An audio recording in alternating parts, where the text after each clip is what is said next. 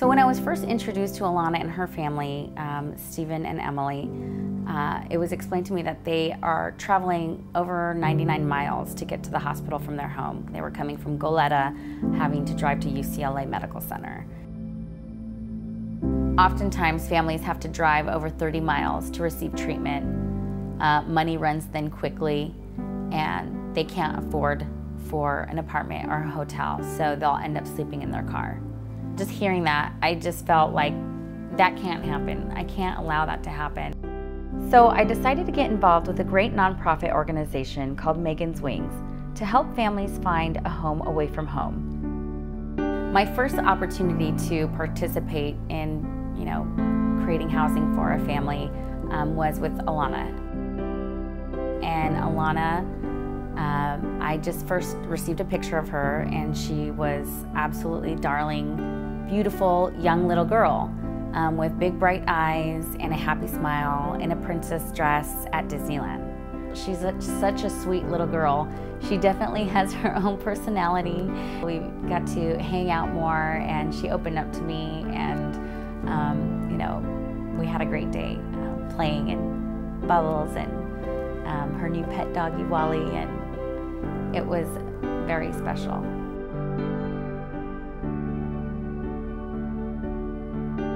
My name's Emily. I have my little girl's been going through brain cancer and we've had a we've had a hard time of it. I think that most families with uh, loved ones going through cancer do have such a tough time. And there is a great community support, especially through Megan's Wings, who has helped us so much with finding temporary housing and has supported us through through this awful struggle that our family is in.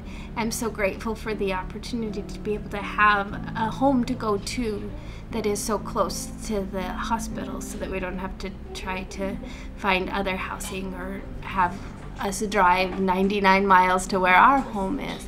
I'm so, so grateful for Megan's Wings and so grateful for people who reach out to families that really need it. So thank you. I personally believe that there are a lot more good people in this world than there are harmful.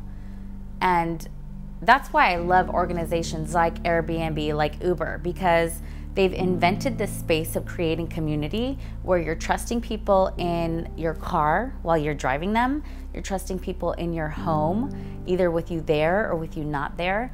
So it's creating this trust within each other and great, wonderful success stories. And that's what I want to be a part of. I want to be a part of growing our community together and creating a, a home for each other.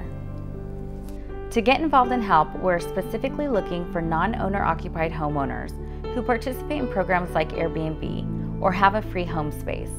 You can donate your space and in return receive a tax write off. To get involved, um, all you need to do is contact me at 310 913 8112 um, or you can email me, um, or you can contact Megan's Wings directly. And We'll provide all of that information for you.